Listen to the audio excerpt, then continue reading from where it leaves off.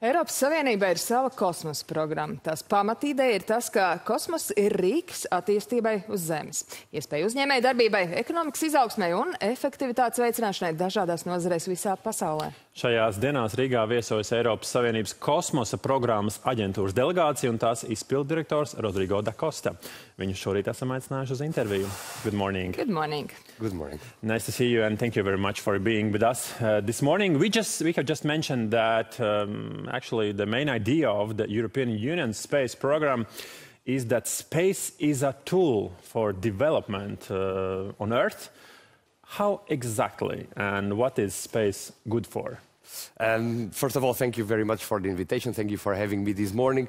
Uh, yeah, I mean, space is today in everyday's life. It's, uh, it's, in, it's in our daily life. We use space when we navigate. We use space uh, when we communicate. We use space when we watch the weather forecast, for example. So space is really um, every day uh, in our lives. In the EU Space Program, our focus is really um, the space uh, that adds value to the people's life, that adds value to our society, as well to our security, certainly.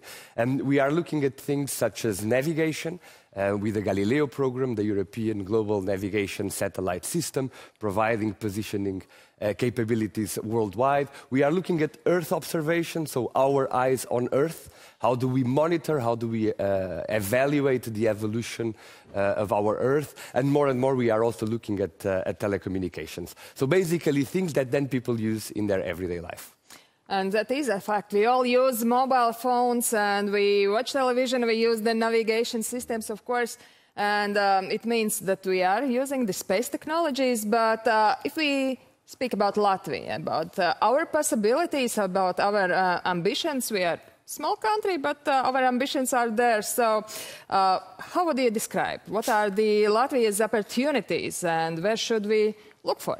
Uh, first of all, certainly, I mean, as EU citizens, uh, we are all using space every day. You mentioned in your mobile phones. Right now, about 50% of the apps that you have in your mobile phone, they are using space data one way or the other. So you really see how much of space uh, there is uh, in, in, in, in, in all the actions that we take every day. Um, if we look concretely at the EU member states, and if we certainly if we look concretely, uh, concretely at Latvia, we are seeing more and more applications. We are seeing companies that participate not only uh, in the development of the technologies to build the satellites, to build the ground segments, but very, very importantly, we are seeing companies that want to use space data and space services uh, in order to bring benefits to many different sectors. Certainly very, very important uh, uh, here in the Latvian reality, things such as agriculture, forestry, disaster management. We do have uh, companies that are working with us, for example, in the development of um, more efficient buildings, uh, digital twins of of buildings. We are working with companies as well that are uh, working on uh, wildlife uh, monitoring and forestry management uh, in EU-wide uh, projects. So as you can see, everyone can benefit and, that, mm -hmm. everyone can contribute to the EU space program. Uh, our viewers could be interesting to hear what it takes to work at the European Union Agency for the Space Program. Should you be, a, I don't know, a space engineer or what?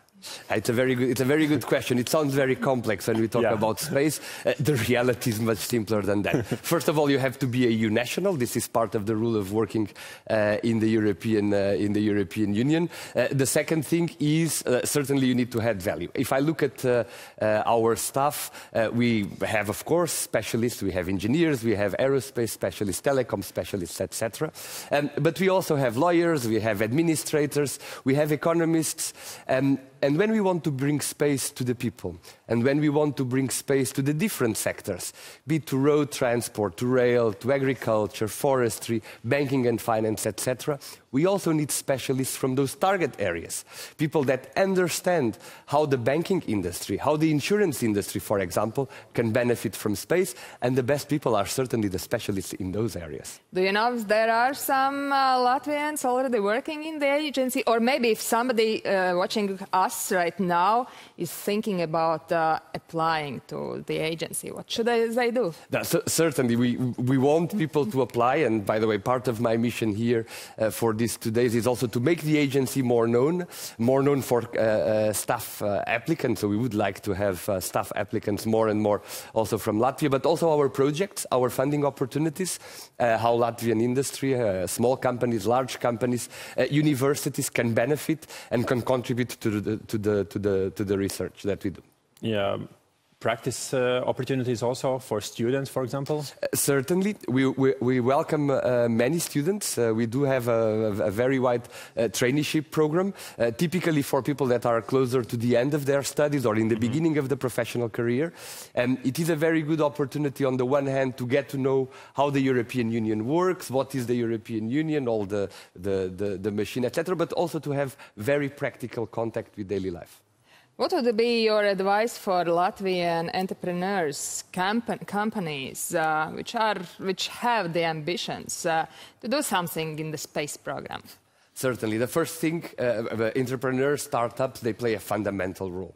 Uh, they bring agility, they bring the ability to innovate. So this is really crucial. This is, uh, this is indeed uh, key.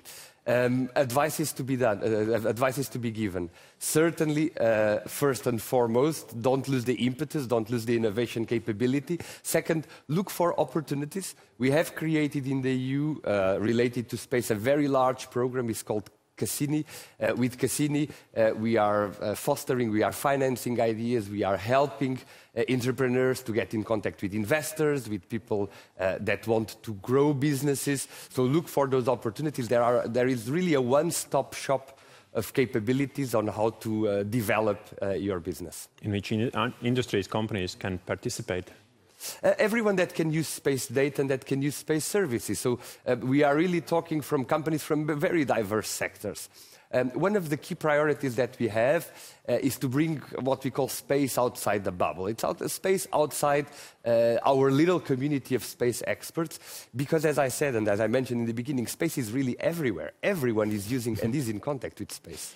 In your opinion, what are the most important challenges in the future for the space agency? So for our agency, there are indeed challenges. I mean, the ambitions of the European Union in space are growing and are growing uh, uh, continuously, uh, certainly by the benefits that space uh, provide to the implementation of the Green Deal, uh, also the benefits uh, for digitalization, for our sovereignty as a union, for our security, for our well-being as a society. so all these pose challenges and certainly to deliver, but I have a team that is very, very much motivated and that's very much focusing on delivering value for EU citizens. I have a question more on philosophical side, uh, most probably. Uh, explorations, mm -hmm. uh, either space or others, uh, they are um, always, uh, there are always consequences. And sometimes the consequences can be grave ones. We saw it with Titan, with uh, explorations of Titanic. But still, not nonetheless of the risks, people, they have this urge, they are looking for new explorations, for reaching uh, new horizons. Why? Why are we like that? Yeah, uh, so first disclaimer, we as an agency, we, do not, we are not involved in science and, uh, science and exploration. Our focus is really uh, the navigation, the telecom, the uh, Earth, uh, Earth observation, but also space situational awareness. Now, exploration plays a fundamental role because exploration uh, first is a motivator. It's a way uh, how we can motivate also new people to join the space domain. Uh, everyone likes their astronauts, so people, uh, children and, and, and, newcomers to the domain uh, are motivated by the domain of exploration. Exploration is about science as well. Uh, and through space, we discover many of the basic science that, that we need to know in order to understand how chip works, how camera works, etc., etc. So it's really about doing the fundamental research that we need mm -hmm. that we need globally as a society. And in the end, uh, humankind, uh, we are explorers. We have always been explorers. Uh, certainly, our border will not stop in our Earth. We'll go beyond that. Yeah, and as we mentioned, that the space is a tool for development on the Earth. Uh, if we watch onto the screen now, there's a big ferry coming in now in the Riga port. So they are using the space technologies. I'm, I'm, I'm so very, very sure they do. Yes, indeed. okay. So thank you very much for being with us this morning, and uh, thank you very much for explaining the space technologies and the importance here on the Earth. And Thank you for having things. me. Thank you very Thank much. Eiropas Savienības kosmosa programmas aģentūras izpildu direktors Rodrigo da Costa šorīt pie mums rīt panorāmā.